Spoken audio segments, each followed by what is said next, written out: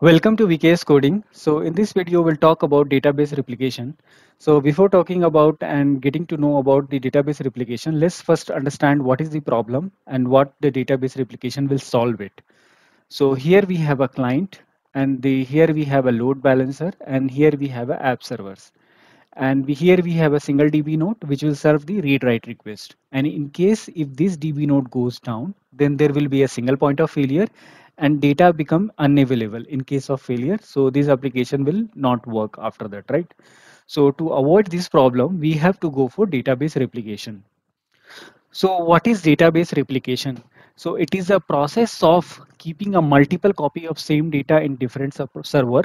So suppose we have a database here and it is a primary DB and it is having some data, then we'll keep the same data in uh, all these three below servers and it we are calling as a replica 1 replica 2 replica 3 so what is the benefit we will get right? So suppose if this db goes down right so we can serve the read write request from any other another db like this db can serve the read write request now. So without the downtime this uh, db will serve the read write request. So this is the benefit we will get it so we have a different database replication technique based on the server architecture. Basically, it's a kind of uh, multi-node architecture. So where we have an option for master-slave architecture and the second one we have a master-master architecture. So we'll see uh, both the architecture and what is having the pros and cons on each of them and after that we have a different uh, database replication technique ba based on the timings of the data transfer. So basically suppose we have a two database here database 1 and database 2 so it is having a primary uh, db and it is having a replica db then how we gonna trans sync the data between these two uh, db so based on that how we are going to sync the data from primary to replica we have a three types synchronous asynchronous and semi-synchronous so let's talk about the master slave and we call this architecture as active passive architecture. So in this architecture, we have a master DB that is kind of a primary DB and we have a multiple set of slaves that is a kind of a replica DB. All the write request and whatever the update or delete data modification related changes will be handled by the master and all the requests for the read will be served by the slaves. So these uh, whatever the uh, read requests are coming from uh, this uh, suppose uh, this data center kind of uh, this is a dc1 it is in and suppose dc data center 2 is in mumbai and if the requests are coming from pune to read it then it will be served by the slave 1 and the if the requests are coming to read the data from Mumbai, then it will be served by this slave 2. So what are the benefit we will get, right? So we will get a better performance because the parallel read write can be performed from multiple servers. A read can be performed by slaves and write can be performed by master. And this is reliable also because suppose one of the server goes down, then that the request can be served by the another DB servers. And this is also high available because data will not be lost we are keeping the data in multiple DB servers. If one goes down, data can be replicated from the another server. And in this scenario, let's suppose if this slave goes down, right? Suppose this slave goes down, then the whatever the read write read requests are coming, we can uh, transfer these to another slave, right? And suppose this master goes down, then what we can do? We can promote this slave as a master now. So that's why after that he can handle the read write request both. So that's how we will be make the system as reliable. So now we understood how the master slave architecture will work, right? Master will handle the or the write operations and the slaves will handle all the read operation. And suppose this data center 2 is also wanted to write something, then this write request will go to this master. But you remember here, these requests are coming from Pune so there will be a chances of latency here. So now any modification let's happen to the master, suppose any write request happen to the master, then immediately those data changes will be replicated to the slaves. So whatever the write happens to the master, those will be replicated to the slave one and slave two. And whenever the read request come from the Mumbai site, it will get the updated data. And whenever the read request come for the Pune site, both will get the updated data. This is how the master slave master and slave architecture will work. Master will handle the write, insert, delete kind of update kind of operation, and the slave serve as a read request. A performance wise it is better, but let's talk about the problem. Where is the problem actually? So suppose the let's talk about the first problem. Suppose this uh, write request is coming from the Pune side, then uh, th- this write request will be di- diverted to the master. So here the uh, requests are coming from a Mumbai data center to the Pune data center. It means uh, there is huge and it's far right. So latency will increase in this case, right? So this is the first problem. Latency will, latency will increase, right? And the second problem is suppose master goes down and promoting the slaves will take a slave to master is taking a, a promotion of master will take a two minute, right? So until two minute, uh, the data will be get lost, right? Because there is no master to handle the write, delete, or update request. So until unless the slave got promoted to the master, so there will be a data loss in this case, right? Until the slave is promoted to the master. So here I have written the uh, two disadvantages of this uh, use case. First one is the promoting the slave to the master will take time and there could be a data loss in that time and the second will be the if there will be a two different geolocation right suppose one is a pune and the second will be the mumbai then the if i if we are getting the write request from the another side where it is not having the master then latency will increase so these are the two problems will be solved by the another type of architecture that will be a master master or active active architecture so let's talk about the active-active architecture. So we have a two sites. So first one is a kind of a Pune site and the second one will have a Pune, Mumbai site. Now both will have a master master database system and both will be able to handle the uh, write and read request in their own data center.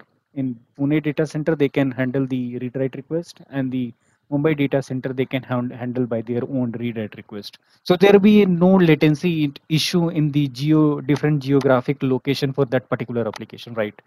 And suppose this uh, particular write request is coming and it is changing in the R1 row, then the this change will be replicated to this master to this master. And suppose uh, the write request is getting changed, right, from Mumbai side to in the R2, then this request will the, changes from the uh, Mumbai site right to replicate it to here in the Pune site. But suppose there is a situation both are trying to change in the third row.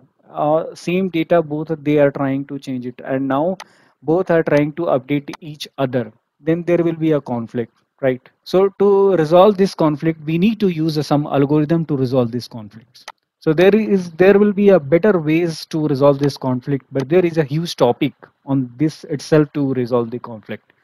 So we'll discuss about this resolve conflict later, right? So here we'll understand the active-active and master-master architecture. Basically, both uh, the database center in the different geographic location will have the master database, and both will serve the read-write request. And any changes to the any set will replicate it by to the another site so that's how this architecture will work. Latency will be decreased because both uh, database having the capability of the read write in the multiple regions. Now let's talk about the database replication technique based on the data transfer time. So based on that, we have uh, three techniques. First one is synchronous replication. Second one is asynchronous replication, and third one is a semi-synchronous replication. So first one in the synchronous replication, whenever the client write to the master, then master will hold that particular request suppose it is a kind of time with t1 then it will hold a request and it will write first to in his database then it will write the changes to the slave 1 database and get the confirmation from the slave 1 and then it will write to this slave 2 database and it will get the transformation from this slave 2 database. And then it will return the successful response to the client. Suppose time is t2 so total times duration is taken by the in this uh, synchronous replication is from time t1 to t2 kind of a slower response time because it is taking a very huge time right to writing the data to the database actually. Write request come to the master and the master is able to write into the slave request slave 1 but in the slave 2 he is not able to write it and slave 2 is down. Then that case the write will not complete right? Write will not complete. It will return unable to process the write right? So that kind of a issue can come in the uh, synchronous replication. But the benefit we get the data consistency is guaranteed because the data is updated between the master and the slaves.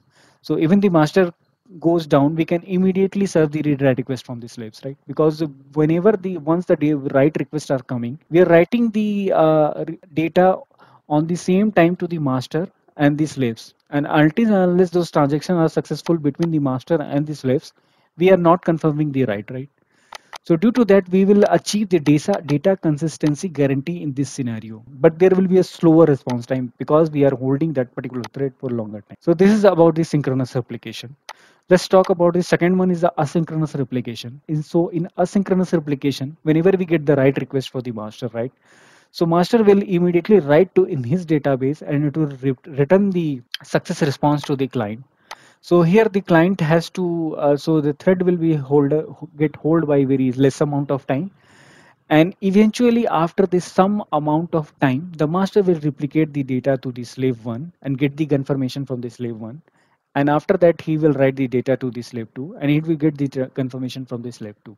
But here, if you see the client has to wait very uh, less amount of time compared to the synchronous replication. So in this scenario, if the master goes down, suppose master goes down and he is not able to replicate to the data whatever is written in his db and the master is not recoverable then in this scenario we'll get the data loss right so that is not good but in this case right we will get the fast response time because the way we write and respond right back compared to the synchronous replication it is a fast in response time and high better in performance wise right but we are losing the data consistency but if we want the data consistency and the performance wise faster also, then we have to go for a semi-synchronous replication.